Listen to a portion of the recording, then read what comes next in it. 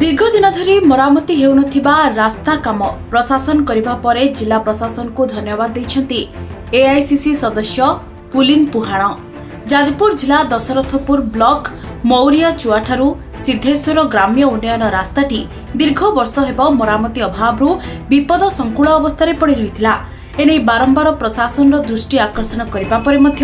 କୌଣସି ସୁଫଳ ମିଳୁନଥିଲା ଏଭଳିକି ଏଆଇସିସି ସଦସ୍ୟ ପୁଲିନ୍ଙ୍କ ଉଦ୍ୟମରେ ସ୍ଥାନୀୟ ଲୋକେ ମିଳିମିଶି ରାସ୍ତାକାମ ମରାମତି କରିଥିଲେ ଏ ସମ୍ପର୍କରେ ପୁଲିନ୍ ଜିଲ୍ଲା ପ୍ରଶାସନିକ ଅଧିକାରୀଙ୍କ ସହ ଆଲୋଚନା କରିବା ପରେ ଏବେ ସେହି ରାସ୍ତା ମରାମତି କାମ ଶେଷ ହୋଇଛି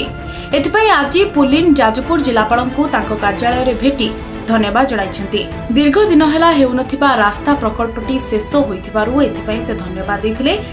अतिरिक्त जिलापा राजस्व अक्षय कुमार मल्लिक को भेट से ग्रामवासी पक्ष धन्यवाद जाजपुर जिलापा श्रीजुक्त राठौर सार एडीएम रेवेन्यू श्रीजुक्त मल्लिक सार दशरथपुर तहसिलदार सार और जाजपुर प्रत्येक समस्त प्रशासनिक अधिकारी मानू धन्यवाद विगत बहु वर्ष पूर्वर पड़ रही Mauryachuaru Siddheswar R D road अधापांतरिया जो पड़ रही